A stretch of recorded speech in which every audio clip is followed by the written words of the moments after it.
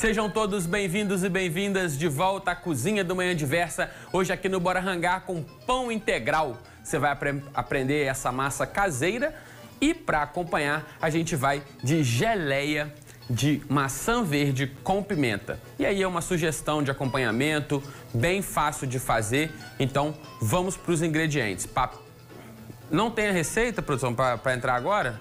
Tá, então vamos fazer o seguinte, eu vou, eu vou passar a receita aqui por cima, não sei as quantidades de cor, mas é o seguinte, ó, a gente vai precisar de farinha de trigo integral, são 400, 800 gramas, eu tenho aqui 3 colheres de sopa de açúcar mascavo, uma pitada de sal, 10 gramas de é, fermento químico. Eu estou fazendo metade da receita, né? Mas a receita que está anotada para vocês leva dois ovos, é o dobro dos ingredientes. Estou fazendo a metade para facilitar. Então, para 800 gramas de farinha, dois ovos. Se você for fazer 400, um ovo só. E aqui, é, uma colher e meia de azeite para 400 gramas de farinha e três colheres de azeite para 800 gramas. João Paulo está com a receita ali da geleia e eu vou passar também os ingredientes da geleia. Vamos tomar nota aí da geleia, que a gente já vai fazer o primeiro bloco agora, a geleia. É o seguinte, uma maçã, e meia, uma maçã e meia verde batida, uma pimenta dedo de moça picadinha, é bem pouco ingrediente. Suco de meio limão Tahiti, 70 gramas de açúcar cristal e um quarto de xícara de chá de água. Daqui a pouco a gente entra com o card para você tirar foto, poder copiar aí também na sua tela. Vamos lá, a gente vai começar aqui, ó, na batedeira, misturando o azeite então eu vou sovar esse pão aqui na batedeira para ganhar tempo, tá? E aí depois, se você precisar fazer na mão, só vai demorar mais. Aí você vai fazendo uma tigela também. Depois, quando ele começar a ganhar forma, você vai e joga na bancada enfarinhada. Açúcar, então foi água, azeite, açúcar, ovo e o fermento químico em pó. A produção conseguiu pra gente a receita, então vamos lá, papel e caneta na mão, celular para tirar a foto da tela. Para fazer esse pão 100% integral com geleia de maçã verde, você vai precisar, para o pão, aí ó, 400 ml de água, 10 gramas de fermento biológico seco, 3 colheres de sopa de açúcar mascavo, 1 colher de chá de sal, 2 ovos, 2 colheres de sopa de azeite, 800 gramas de farinha de trigo, de trigo integral. E aí, quando você for comprar essa farinha, dá uma olhada, tá? Se ela é indicada para preparo de pães e bolos. Não é toda farinha integral que tem essa indicação de trabalho, tá? Então você vai é, preparando assim. Eu não acabei de dar a receita ainda não, produção. Pode voltar aí que tá faltando a geleia, ó. Uma maçã verde batida, uma pimenta dedo de moça picada, meia maçã cortada, suco de meio limão, 70 gramas de açúcar cristal e um quarto de xícara de chá de água. Agora sim, vamos lá, ó. Então, Misturei aqui na cuba da batedeira água, óleo, ovo, fermento, açúcar e aí já pode colocar o sal também, tá? E aí a gente vai ligar a batedeira aqui, ó, para bater e misturar esses ingredientes antes de começar a entrar com a farinha. Vamos lá. Velocidade mínima, tá?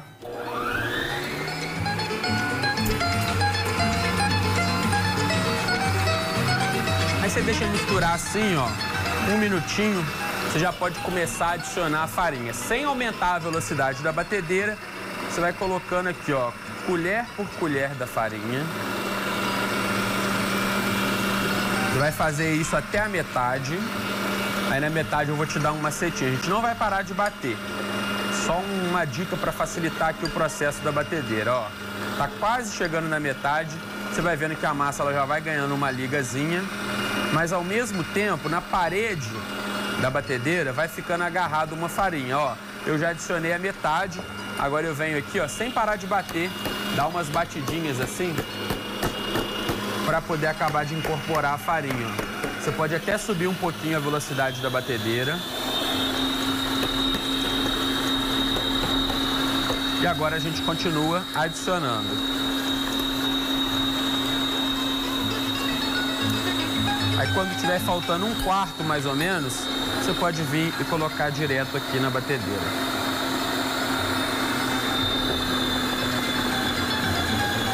Ó, então nós estamos aqui mais ou menos na velocidade média. Eu vou pegar aqui meu liquidificador agora, vou chegar essa batedeira para o lado, eu vou deixar ela sovando aqui, é mais ou menos uns 5 minutinhos de sova o suficiente. Enquanto isso, a gente vai preparar a nossa geleia. Aqui no liquidificador eu vou adicionar, ó, a água, o açúcar, suco de meio limão,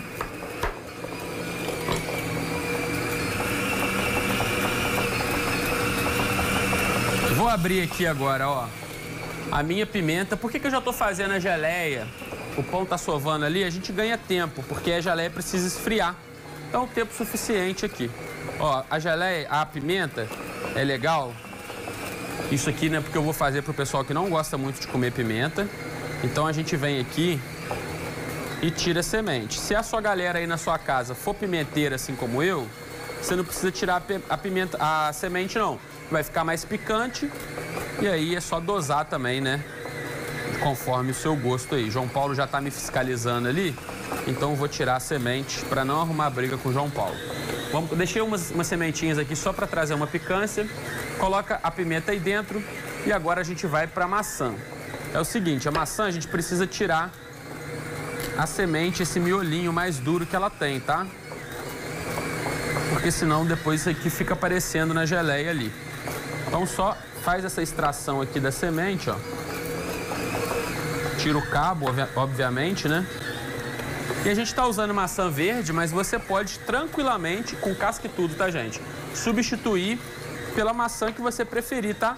Eu vou te dar a dica, assim, de dar preferência para Fuji e para Gala, que são um pouquinho mais ácida. Aquela maçã argentina não vai legal, não, porque ela é muito doce, tá? Então tem que ter uma acidez senão a geleia fica doce demais. Então, ó, enquanto a gente vai preparando a geleia, a massinha tá sovando ali. Você vai ver como ela sai bem macia, apesar né, da farinha de trigo integral ela ser um pouco mais dura, mas você vai ver que isso não vai influenciar muito no nosso pãozinho, não. Beleza, tudo no liquidificador. Então agora bora bater.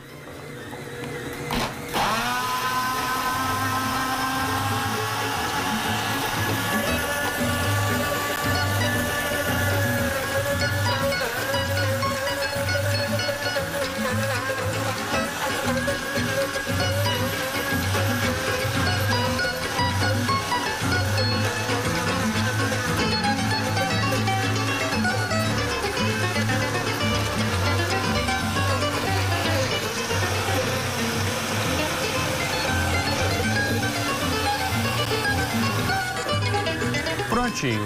Batido. Eu vou trazer aqui agora para minha panelinha. E a gente vai deixar cozinhar e dar uma reduzida. Quando começa a ferver, geralmente mais ou menos uns 5 minutos, porque é muito pouquinho aqui. O ideal é você abaixar o fogo quando estiver fervendo e vir sempre aqui mexendo para evitar de queimar, tá? Então vou acender aqui minha panela, ó, e vou deixar a minha geleia reduzindo aqui. Vamos ver como que ficou aquela massa ali? Já, já a sova já chegou no ponto, ó. Vou mostrar para vocês a texturinha dela, ó. Com uma massa bem macia, tá vendo? Bem gostosa de trabalhar, não é aquela massa pesada. Então a gente faz uma bolinha assim agora com ela, ó, beliscando aqui no fundo para fechar toda a massa e tem que deixar ela fermentar. Você vai colocar aqui numa tigela, vou usar da batedeira mesmo, vai cobrir com um paninho e vai deixar no lugar quentinho da sua, da, da sua cozinha. Se estiver fazendo frio na sua casa, você pode ligar um pouquinho o forno, no máximo, deixa ele ligado uns 5 minutos, bota uma tigela de água lá dentro, desliga o forno, coloca a massa lá dentro e ela vai fermentar no calor, aí você vai ganhar tempo. É meia hora, de meia, de 30 minutos a uma hora ou até ela dobrar de volume, tá bom? Aí a gente parou deixando a massa né, fermentar. Eu tenho uma aqui já fermentada, Olha aí, ó, como ela fica, né? Cresceu, dobrou de tamanho e ela é super macia, muito boa de trabalhar, vai dar um pão super fofinho, tá? Então aqui a gente tem a nossa massa já fermentada. Eu vou te ensinar a enrolar aqui, formar, é, formatar, mas eu já quero botar um pão para assar. Então eu vou te mostrar como que fica. Você vai aprender a fazer. Mas aqui eu já tenho um pão, ó, que eu já modelei, ele já descansou e já dobrou de volume. Tá vendo? Ele fica grandão assim, bem macio. O forno já está pré-aquecido a 180 graus, então nós vamos de forno aqui. Que aí enquanto você vai aprendendo a modelar, esse aqui já vai assando.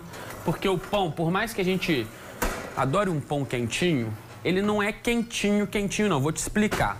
Na padaria, quando o pão sai do forno, ele passa por um descanso, você tem uma prateleira de descanso, ele fica ali 10 minutos antes de ir para a venda. Então ele chega ali na venda quentinho, mas ele não saiu do forno e foi direto para ali. Esses 10 minutos que ele tem que esfriar um pouco é o suficiente para ele acabar de assar fora do forno, tá? Então você não pode tirar o pão do forno, meter a faca e comer, porque ele ainda vai estar tá cru, tá bom? Além de queimar sua boca também. Então 10 minutinhos de descanso, Aí você pode comer, ele ainda vai estar tá quentinho, pode ficar tranquilo. Esse aqui vai ficar ali de 20 a 25 minutos, é o tempo de dourar, tá? O que, que você vai fazer agora, ó? Bom, a geleia já está gelando ali. Eu vou, ó, enfarinhar a minha bancada.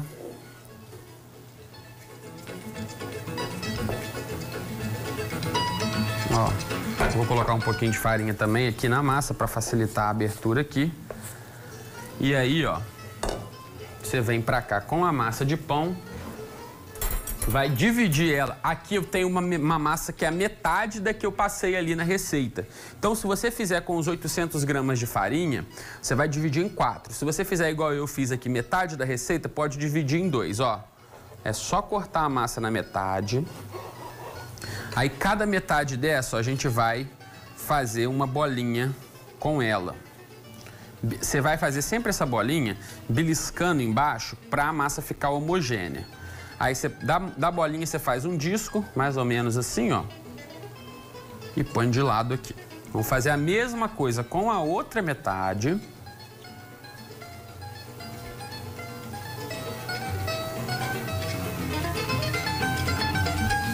E aí, ó, esse pão ele já passou por um processo de fermentação. Mas como a gente vai trabalhar ele de novo aqui, ele vai ter que descansar e fermentar de novo. Aí fica aquela dica outra vez. Como eu já botei um para assar ali.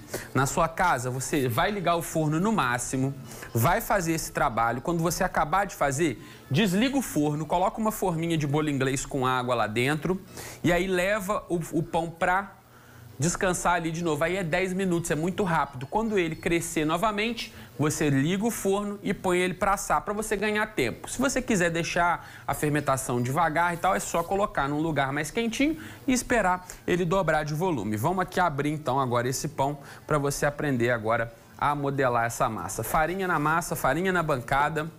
A gente marca primeiro aqui, ó, o meio desse disco, pressionando mesmo. Essa é uma massa um pouco mais pesada do que o comum, né? Então, ó, você vai do meio para frente, do meio para trás sempre, ó.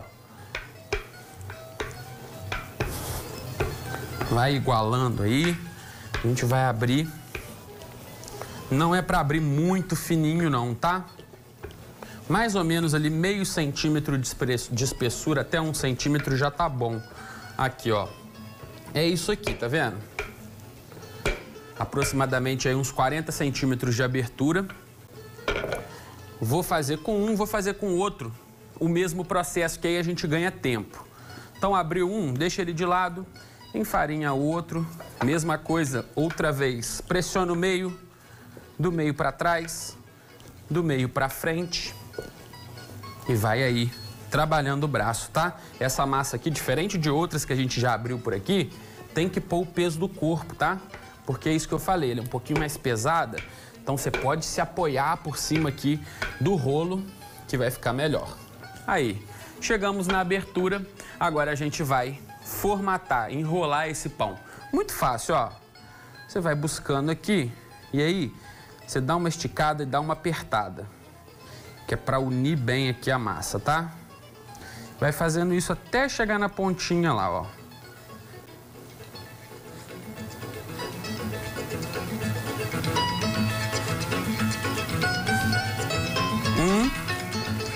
Aí, ó.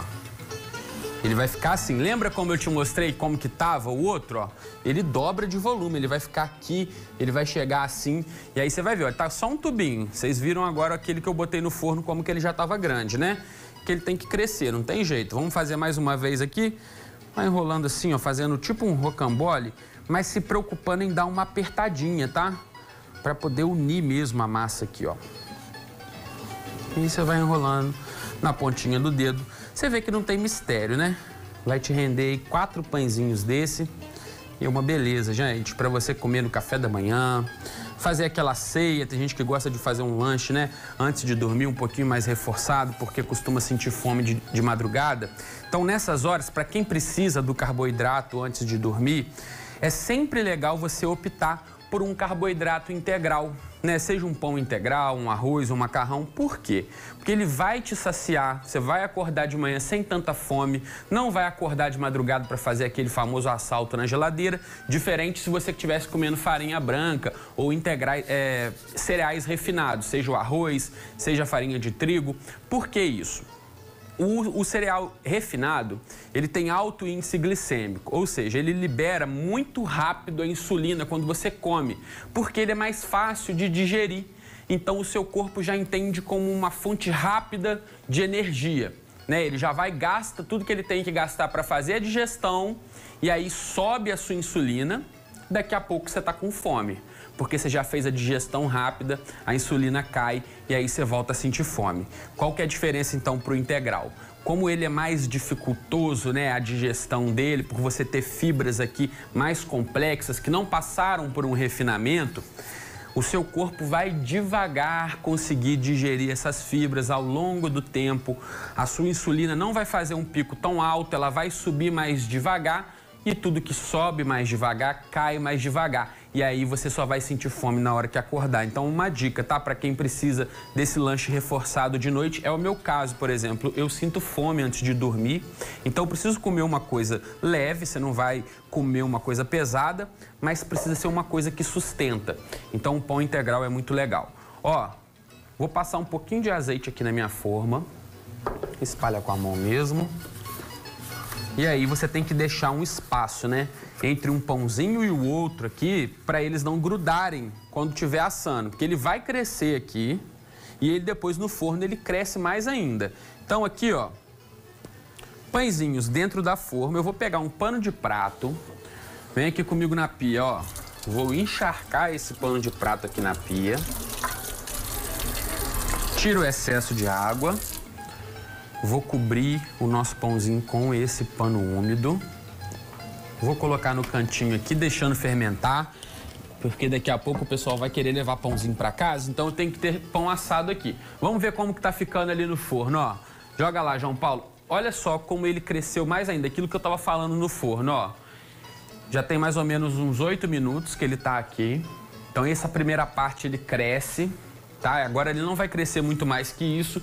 O que ele vai fazer agora é dourar. Ele vai fazer uma crosta legal, vai dar uma dourada. E aí imagina umas torradinhas desse pão ou então um sanduíche. Tenho certeza que vocês vão adorar.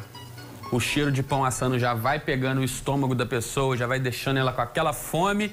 Daqui a pouco a gente volta para experimentar, correto? Pão no forno, geleia gelando, daqui a pouco é hora de ser feliz. No próximo bloco tem o Mundo dos Famosos, a famosa fofoca que o povo gosta, com Netinho Rocha. Você não vai perder. A gente vai para o intervalo rapidinho e já já a gente volta.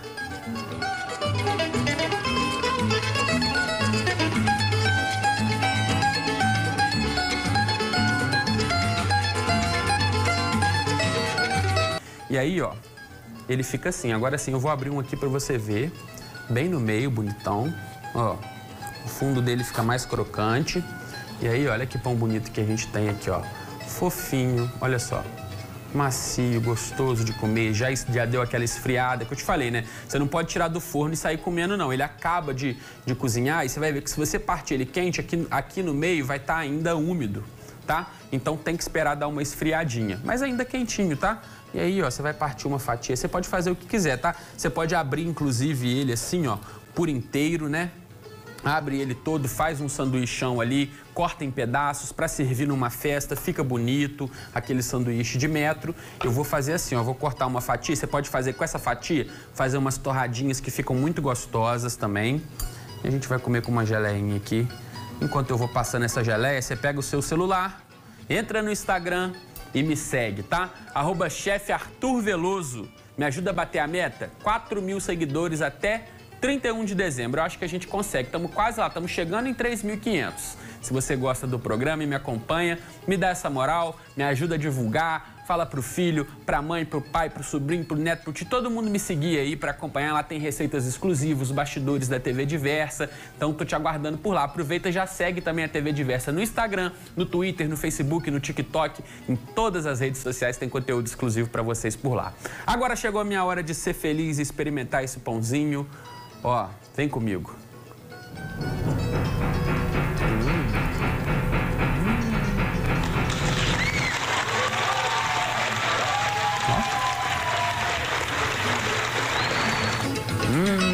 Integral, gente.